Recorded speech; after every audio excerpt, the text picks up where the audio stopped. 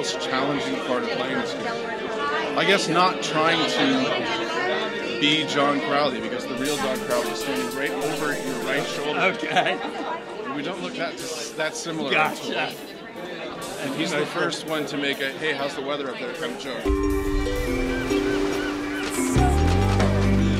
In both kids, it's the heart that's the real threat to their lives.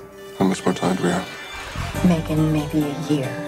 Patrick, less. I wish that we had a drug to treat Pompe, but we simply don't. I'm sorry. Dr. Stonehill. Yeah. This is John Crowley. All the researchers out there say that you're a genius. On the verge of a scientific breakthrough. I'm not on the verge of anything. How much would it take to prove your theory? Brendan is just an incredible actor and a wonderful dad, and he put so much into the range of emotion required for the film, and you know captured beautifully the spirit of the family, and that's what's important.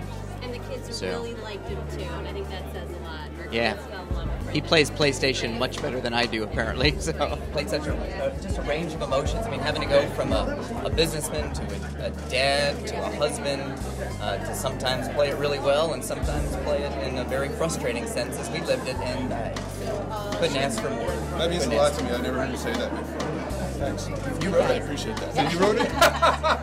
No, but look, I mean, Brent, Brendan's That's the part you insert the tall guy joke now. it is, isn't it? We saw the movie two weeks ago uh, with our children, and we all loved it. And we saw it with close family and friends, and we loved it. I think we did a fantastic job.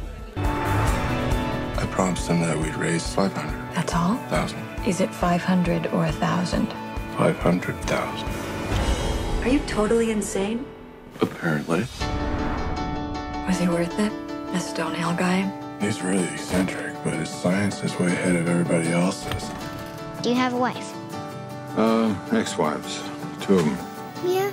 How come? Because I'm so easy to get along with. I hope people walk away being inspired to go out and do something in life to change some small part of the world that will help them and their family. And to learn more about our family and the causes that we care about, they can go to our family website, which is crowleyfamily5, the number 5.com.